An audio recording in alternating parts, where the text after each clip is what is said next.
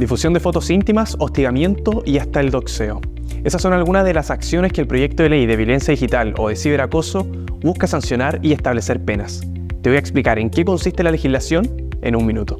Este lunes la Cámara de Diputados dio el visto bueno al proyecto de ley que sanciona y penaliza la violencia digital, también entendida como el ciberacoso. Es ahí donde la difusión de fotos íntimas, el hostigamiento y la publicación de datos personales, también denominado como doxeo, fueron tipificados. El proyecto fue impulsado por la diputada Maite Orsini, quien anteriormente defendió una agenda similar en la entonces Ley PAC. Argumentando que el espacio digital es una extensión del espacio público, la medida legislativa propone penas de cárcel y de multas a quienes realicen este tipo de acciones, además de definirlas. Por ejemplo, el hostigamiento fue identificado como la conducta contra la voluntad de la víctima que es capaz de perturbar gravemente el normal desarrollo de la vida privada o la vulneración de la integridad psíquica. Dentro de ella cabe la vigilancia o el intento de establecer contacto. Pero, por otro lado, en el caso de que se difundiesen registros íntimos sin consentimiento, la persona que divulgó las imágenes podría arriesgar desde 61 hasta 540 días de cárcel.